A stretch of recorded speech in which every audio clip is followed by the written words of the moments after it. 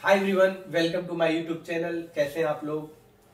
आज मेरे पास है एक ओप्पो का मोबाइल फ़ोन और इसके अंदर प्रॉब्लम ये थी कि ये फ़ोन मेरे पास आया था चार्जिंग के इशू में। लेकिन जब मैं चार्जिंग आईसी को चेक करने के लिए इसकी स्टिल को निकाल रहा था, ऊपर का जो कवर होता है स्टिल तो उस दौरान इसकी जो लाइट आई थी वो अनफॉर्चुनेटली डैमेज हो गई क्रैक हो गई। और उस कंडीशन में जब मैंने लाइट आईसी को निकाला तो लाइट आईसी के पाँच, छह प्रिंट बाहर आ गए। मतलब इसके पैड्स खराब हो गए। तो डेफिनेटली मैं लाइट आईसी इंस्टॉल करूँ तो लाइट इसका नहीं चलेगा। तो मुझे लगा कि इस टाइप का फॉल्ट आपके साथ भी आ सकता है। गलतियाँ होती हैं। तो इसीलिए इस वीडियो को, छोटा वीडियो है, लेकिन मैंने अपलोड किया है और प्रॉपर मैंने दिखाया है कि कभी भी आप कोई लाइट आईसी ग्राफिक आईसी या पावर आईसी या नैंड या सीपीयू पे अगर काम कर रहे हो, उसको निकाल रहे हो पेस्टेड आईसी या नॉन पेस्टेड आईसी और अनफॉर्चुनेटली कोई पैड निकल जाता है, खराब हो जाता है तो उस कंडीशन में उन पैड्स को आप कैसे रिपेयर करोगे? तो आज की वीडियो में देखेंगे एक प्रोफेशनली किसी भी बॉल के अगर पैड्स खराब हो जाते हैं तो कौन कौन से टूल्स का यूज़ करके उन पैड्स को हम कैसे सक्सेसफुली रिपेयर करेंगे? और हम देखेंगे पैड्स को रिपेयर करके आईसी को इंस्टॉल करके मैं दिखाऊँगा आपको कि हमारा जो पूरा प्रोसेस सक्सेस होता है या नहीं। तो चलिए दोस्तों स्टार्ट करते हैं। आई होप ये वीडियो आपके लिए काफ़ी हेल्पफुल होगा। और अगर आपसे भी कभी कोई ऐसी प्रॉब्लम आती है तो आप इसको सॉल्व कर पाएँगे तो इस तरीके से आप देख रहे हैं कि ये जो आईसी है, ये ओप्पो ए सेवन की लाइट आईसी है और इसकी जो पैड्स आप देख रहे हैं फोर थ्री सेवन पैड्स निकल चुके हैं। तो जिन पैड्स के ट्रैक्स दिख रहे हैं, हम उनको स्क्रैच कर सकते हैं और लेफ़्ट में जो दो पैड्स हैं, उनके ट्रैक्स नहीं हैं तो उनके ट्रैक्स नीचे छोटे छोटे बॉल से आपको दिख रहे हैं। इसी से हम इसको, पैड को इंस्टॉल करेंगे। तो सबसे पहले आप 11 नंबर ब्लेड लीजिए और इसको स्क्रैच कर लीजिए अच्छे से। और थोड़ा सा फ्लक्स यूज़ करके आपको यहाँ पे one eight one thirty eight degree Celsius का जो पीपीडी होता है, उसको यूज़ करना है यहाँ पे। तो क्योंकि बहुत जल्दी मेल्ट होता है, जैसे कि आप सभी जानते हैं। तो इससे हम जंपर को फटाफट लगा पाएँगे। तो ये देखिए, मैंने यहाँ पे 138 लिया और थोड़ा थोड़ा यहाँ पे पॉइंट्स पे मैंने सोल्ड कर दिया। और जब भी इस पैड्स को क्लीन करने की बात आए तो आप हमेशा कॉटन का यूज़ करें। ब्रश मोटा या हैवी ब्रश यूज़ ना करें तो नहीं तो जो पैड्स दिख रहे हैं, वो भी निकल जाएँगे। इसलिए कॉटन यूज़ करें। तो ये देखिए, उसके बाद से थोड़ा सा हम यहाँ पे फ्लक्स यूज़ करेंगे। और याद रखिए, कोई पैड अगर निकला हो और नीचे उसके डॉट्स दिख रहे हो, उसकी कोई लाइन ना हो तो वहाँ पे पैड कैसे इंस्टॉल करते हैं देखिए। यहाँ पे फ्लक्स लगा कर थोड़ा सा 138 डिग्री सेल्सियस का पीपीटी यूज़ कीजिए और इस तरीके से और एस मशीन के थ्रू छोटी छोटी बॉल्स बना लीजिए। देखिए एस से हीट मारेंगे, आपका टेम्परेचर 300 रहेगा और छोटी छोटी बॉल्स बन जाएँगी। हो सकता है ये बॉल्स आपसे बड़ी बन जाए। तो ये जो बॉल्स बड़ी बनेंगी तो इनको आप क्या कीजिए कि ग्यारह नंबर ब्लेड से कट करके छोटी भी कर सकते हैं। जैसे आप देख रहे हो, बीच वाली बॉल थोड़ी बड़ी है। तो ये मैंने कट करके थोड़ा छोटा कर लिया, क्योंकि छोटी बॉल होगी तभी इंस्टॉल हो पाएँगे पैड्स और थोड़ा सा फ्लक्स लगाइए।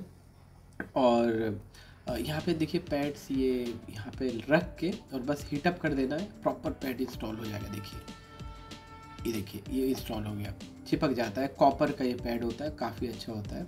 कनेक्टिंग बहुत अच्छी होती है इसकी। तो इसको भी देखो, हमने रख के हीट मारेंगे तो ये यहाँ पे लग जाएगा। ये आप देख सकते हैं। ये लग गया। ठीक है, बस। और इससे ज़्यादा नहीं करना है आपको कुछ।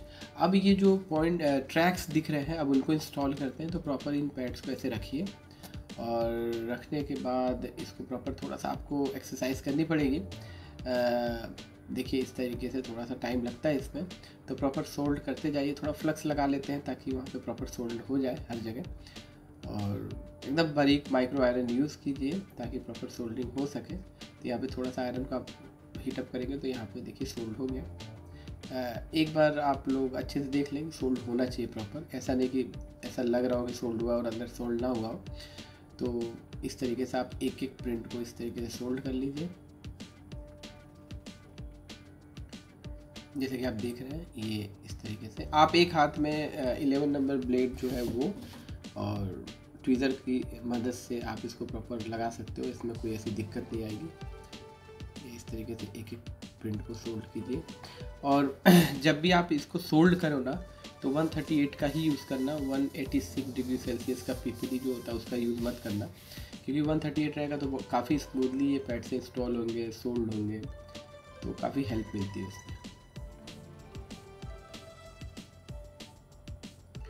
देखिए, इसको प्रॉपर हम इंस्टॉल कर लेते हैं।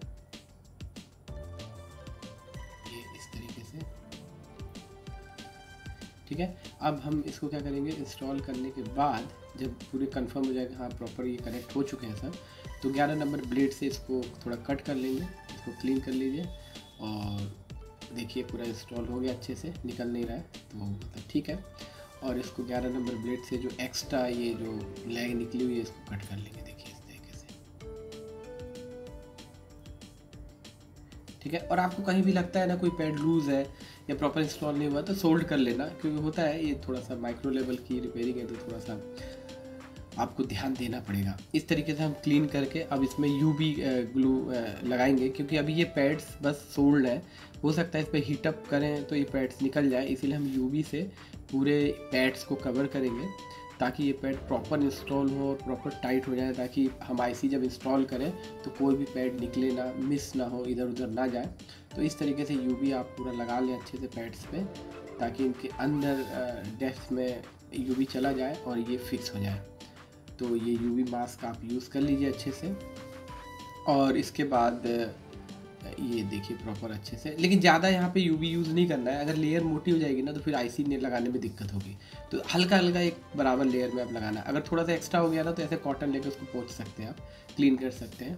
तो ये लग गया यूवी और अब हम यूवी लैम्प का यूज़ करेंगे। अगर आप क्विनली का यूवी लैम्प यूज़ करते हैं अच्छी क्वालिटी का तो मात्र 10 सेकंड में ये ये हार्ड हो जाएगा, ठीक है? तो ये देखिए, हम यूवी लैम्प के थ्रू इसको ड्राई कर रहे हैं। तो ये ड्राई हो गया है। अब हम क्या करेंगे, इसकी बॉल्स को स्क्रैच कर लेंगे, जैसे कि आप देख रहे हो। देखो, ये बॉल्स को स्क्रैच कर लेते हैं बिल्कुल आराम से। और जब भी स्क्रैच करो तो बिल्कुल नई ब्लेड से स्क्रैच करना, ठीक है? और ये जो कॉर्नर वाली बॉल है ना, ये ब्लैंक है एन सी है इसीलिए मैंने इसको यहाँ पे पैड इंस्टॉल नहीं किया है, ठीक है? तो ये इस तरीके से आप पैड्स को पूरा क्लीन कर लीजिए और क्लीन करने के बाद, देखो इसमें एक चीज़ और है, जैसे हम ग्लू लगाते हैं ना तो ये तो क्लीन हो गया, लेकिन कि अगल बगल में ना कहीं कहीं यूवी थोड़ा ऊँचा लग जाता है तो उसको ना बिल्कुल क्लीन कर लेंगे उसको, ठीक है? कट करके स्क्रैच करके पूरा बराबर कर लेंगे ताकि आईसी प्रॉपर इंस्टॉल हो पाए। ठीक है? तो ये सब चीज़ें आपको देखनी पड़ेंगी। तो ये कैपेसिटर के बगल में थोड़ा सा यूवी ज़्यादा लगा हुआ है तो हम 11 नंबर ब्लेड से इसको एक बार अच्छे से स्क्रैच कर लेंगे देखिए ऐसे करके। देखिए, ये हल्का हल्का आप स्क्रैच करके बिल्कुल सॉफ्ट हैंड से स्क्रैच करना है। अगर हम थोड़ा सा भी अगर हार्ड हैंड यूज़ करेंगे तो हो सकता है ये पैड फिर निकल जाए और फिर से इंस्टॉल करना पड़ेगा तो टाइम बढ़ जाएगा। तो बिल्कुल आराम से इसको आप साफ़ कर लीजिए, देखिए, इस तरीके से, ठीक है? और ये इस तरीके से क्लीन हो चुका है।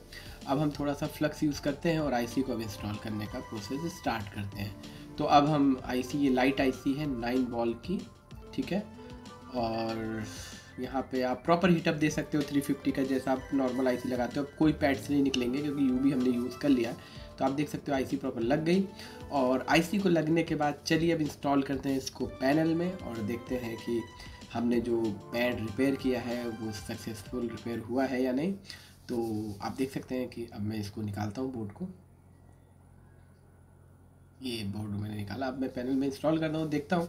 तो इस तरीके से दोस्तों, आप ना मतलब कोई भी फ़ोन आता है, कई बार ग्राफिक आईसी लाइट आईसी काफ़ी सारी आईसी निकालते समय पैड्स निकल जाते हैं या हम कई बार स्टील निकालते हैं, तब भी पैड्स निकल जाते हैं और कभी कभी सी को निकालते समय निकल जाते हैं नैंड को निकालते समय निकल जाते हैं। तो ये इस एक वे बताया मैंने तो ऐसे आप किसी भी पैड को रिपेयर कर सकते हैं। तो देखिए ऑन करते हैं फ़ोन को और ये देखिए तो ये हमारी लाइट आईसी, इसका मतलब प्रॉपर पैड्स बने थे प्रॉपर कनेक्ट भी हुए थे और लाइट आईसी प्रॉपर इंस्टॉल भी हुई।